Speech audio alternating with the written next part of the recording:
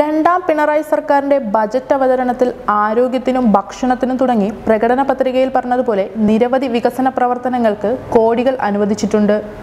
സമ്മതിച്ചു. ശരി തന്നെ. എന്നാൽ അന്തരിച്ച മുൻ മന്ത്രിമാരായ കെ ആർ ഗൗരിയമ്മയ്ക്കും ആർ ബാലകൃഷ്ണപിള്ളയ്ക്കും വേണ്ടി സ്മാരകം നിർമ്മിക്കുമെന്ന പ്രഖ്യാപനം ബജറ്റിൽ വേണമായിരുന്നോ എന്ന ആവശ്യം ഉന്നയിക്കേണ്ടത് തന്നെയാണ്. ഇതിനായി രണ്ട് കോടി രൂപയാണ് മാറ്റിവെച്ചിരിക്കുന്നത്. ആർ ബാലകൃഷ്ണപിള്ളയ്ക്കും ഗൗരിയമ്മയ്ക്കും എന്നല്ല ആർക്കും പൊതുജനങ്ങളുടെ കാശിൽ നിന്ന് സ്മാരകം പണിയണ്ട എന്ന തിരിച്ചറിവ് ഇനിയെങ്കിലും ഉണ്ടാകാത്തത് എന്ത് കഷ്ടമാണ്.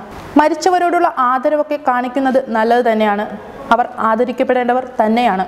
എങ്കിലും കോവിഡ് മഹാമാരി ദുരിതം വിതച്ച മേഖലകൾക്ക് ഈ രണ്ട് കോടിയും വലിയൊരു തുക തന്നെയാണ്. മുന്നൂറ് കോടി മുടക്കി പട്ടേൽ പ്രതിമ നിർമ്മിച്ച ഇന്ത്യയിലാണ് നമ്മൾ ജീവിക്കുന്നത് എന്നോർക്കുക മറ്റു സംസ്ഥാനങ്ങളുടെ കോവിഡ് കാലത്തെ അവസ്ഥ കണ്ട് പട്ടേൽ പ്രതിമയ്ക്ക് കോടികൾ മുടക്കിയവരെ കളിയാക്കിയവർ.